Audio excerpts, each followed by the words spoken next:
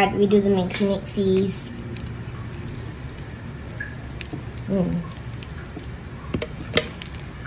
Oops, I think I it in there. Yeah, it's okay. Oh, this smells so limey and yummy. I love guacamole. It's such an easy snack.